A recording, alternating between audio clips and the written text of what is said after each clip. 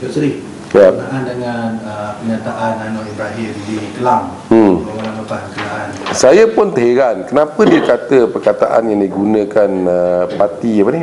Uh, Pandu kata pan, pandukati. Saya tak tak faham kenapa dia gunakan perkataan-perkataan yang sedemikian rupa.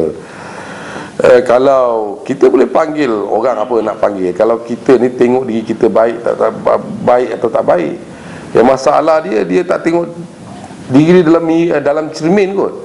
Dia tak sadar he never look himself at the mirror you know. He is actually the pandukati not my prime minister you know.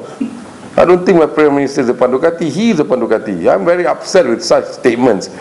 I hope that they'll be more civilized lah you know. Please don't call people's name.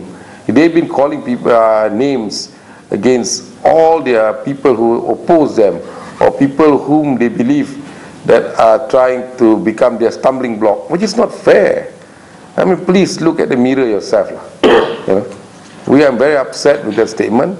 Not only that we also know that one is in Klang and he said something else when he was in uh, Negeri Sembilan which is also not very good. I think he is trying to uh, trying to maybe uh, uh, not to say provoke he's, try, he's trying to cover up himself. And by calling other people's with all sorts of name.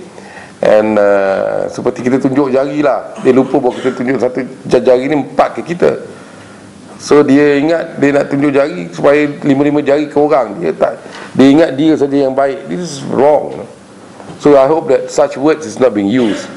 And kalau kita lihat sendiri is AMNO going to demand for an apology from Anwar for what he had said about the Prime Minister? Uh, well, it's no point asking any apology from madman lah, you know. If he's mad, then he become mad lah. What? Apa lagi kita cakap dia dah gila, kita ni ikut dia gila apa, apa. Tapi yang saya tak setuju, dia cakap dan bukan-bukan lah.